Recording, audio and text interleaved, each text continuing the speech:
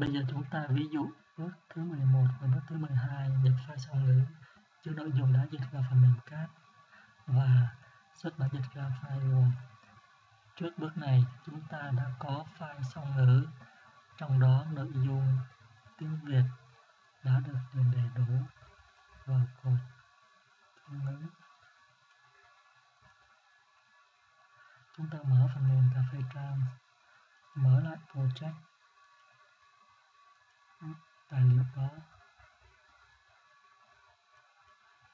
ở đây chúng ta nhấn New Project Export and Exchange có Import Bilingual Document.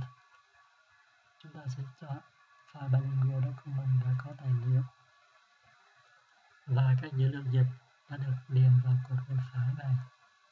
Chúng ta thấy là thậm chí ở chỗ mà tài liệu gốc có định dạng như viết đậm thì lúc hiện ra ở tài liệu thì nó cũng sẽ giữ định dạng đó, do phần mềm cà phê tràn có một số cái tax lưu trữ nội dung định dạng này và chương trình Google Translate Toolkit cũng không làm hỏng mất các nội dung này.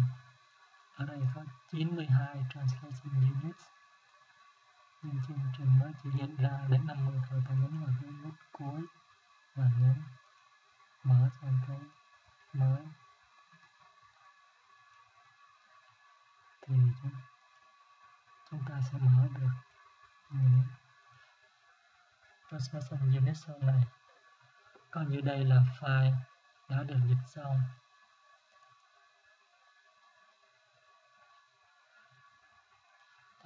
Ta project lại và ta nhấn export and exchange bây giờ chúng ta sẽ export current document để ra một file Word mới.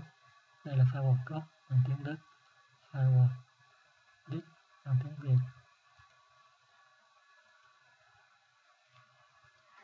Đây là nội dung file đã dịch và những hình ảnh định dạng cũ ở file Word gốc bằng tiếng Đức vẫn được lưu lại so sánh thử